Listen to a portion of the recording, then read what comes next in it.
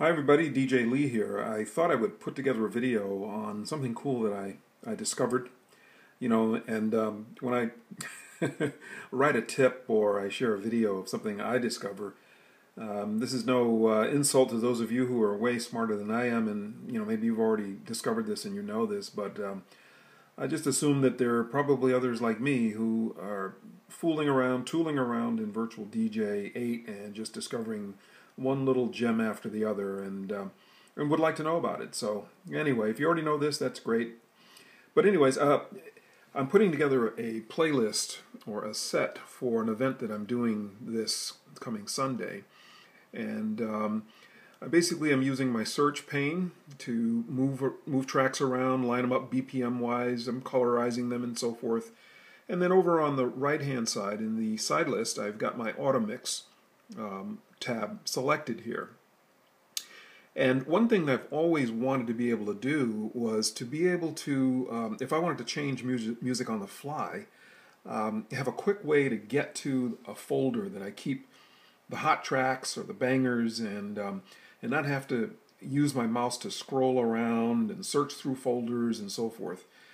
Well, lo and behold, Virtual DJ 8 has in the side list down here this little um, this looks like a little wheel, and here you can add subfolders, and these subfolders will be linked to any of the folders that you have in your files pane.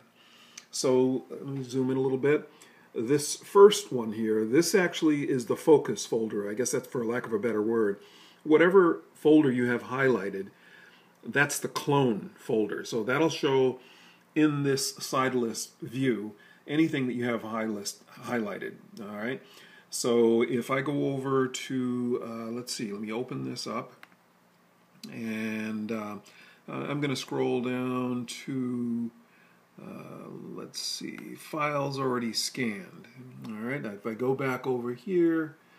Um, okay, you can see what's listed now is in the clone are the files that have already been scanned, or is that, yeah, files to be scanned is, is what this is entitled. So there are a number of files that are missing. Um, I really need to clean up clean up that mess, and but that's very handy to be able to have that.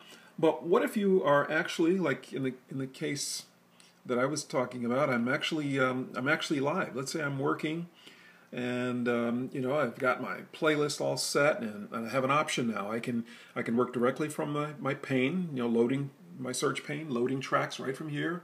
Or if I want to use the auto mix and load tracks from here this is this is great. The nice thing about the auto mix is if um, if I want to go to the bathroom or I want to talk to someone or in the case of dancing DJs I want to dance a, a track or two with my wife I can just put on auto mix and, and I'm good to go but what if I'm at a wedding where I'm more likely behind the booth and uh, I've, I've, planned my sets. Maybe I have an idea of where I want to take the crowd, but I'm getting requests and, and maybe I'm really hitting a nice stride. And man, there are some tunes that they didn't request, but I think would really go good with this particular crowd. Well, down here, I've already set a shortcut to open dance music. Okay, and in this it, folder has got all the all the tunes that I find to be banger musics at uh, receptions and weddings and so forth.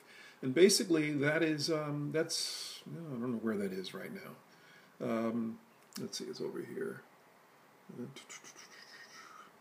I can't find it right now. Oh, here it is. So that's this folder that's way over here. That normally, you know, when I have this pane closed, I'd have to go over it, I have to open it, I've got to scroll down, I got to find it. You know, in the heat of the mix, it may be a little bit of a, a task. I mean, I've cleaned things up a little bit, so it's a little bit easier. But man, isn't this easy to just be able to click on a folder and boom, there they are. So I can just scroll through this one list here. I can load whatever I want to load. I also um, took the option to put my side list over here. So look at this. Now that we found love, I just drag it right over there. There it is. Just like that. No more closing folders, no more sorting through folders. Bam, that's it. Also, someone comes up or and they want to know, did you already play such and such a song? Um, yeah, I can just go right here. I've already got my filtered folder already played right here in the same screen. God, I know I sound like a pitchman for some 1995 product, but I just can't contain my excitement with how well Virtual DJ is designed. So, at any rate, I, I wanted to share that with you. That uh, definitely check out in your side list your subfolders, um, your shortcuts, not subfolders, your shortcuts. And remember, there is um, this first one here. Uh, keeps, it's not going to focus. Sorry about that. The first one, this one, that's your clone. That's already always there. That's going to show you whatever folder you're working from. If you're doing all of your DJing from an open folder or reception folder or must playlist, that's going to be that's going to give you the option to clone that information. So you can load that from the clone. You could load it into uh, your playlist or whatever. And then the others that you see here, these three that you see here, this is my uh, already paid played. Um, this is my um, my open dancing. And then over here, since I'm going to be doing a Latin event, a salsa uh, social, I have Latin club sets. So all my music for my Latin club sets right there, easy to get to, and also it makes it easy for me to go through and start setting my cue points and colorizing and so forth. So anyways, the video turns out to not be as quick as I thought, but um, I hope you share my excitement at, virtu at using Virtual DJ 8. And um, that's it for me. DJ Professor Lee.